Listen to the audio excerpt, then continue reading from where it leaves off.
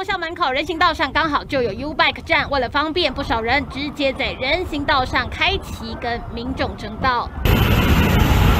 行人、学生走在人行道得左闪右躲，一个不小心就会被撞上。这样的情况，上下课的时间人一多更加严重。我想说，我找车体，然后就直接骑过来。这宣导是可能多少都有听过，但就是有时候会。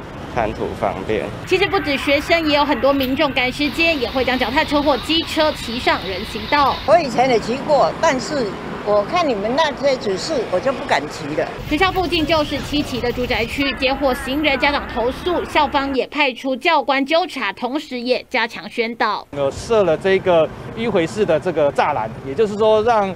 呃，民众跟学生在骑到这个路段的时候呢，他不得不一定要停下来。不止这里，市区很多 U Bike 站都设置在人行道上，使用者下意识就会直接上车。要如何落实人行道不再骑自行车？相关单位恐怕得再动动脑筋。由黄雄峰在锦城台中采访报道。水神的成分是什么呢？再跟大家介绍，微酸性电解次氯酸水，所以呢，它比较温和。尽量有的人对酒精比较过敏的人，他可能没有办说一直喷酒精。好，但是呢，用水神来消毒双手的话，很安全。好，那怎么买呢？欢迎大家上我们的快点购网站，好就可以买到。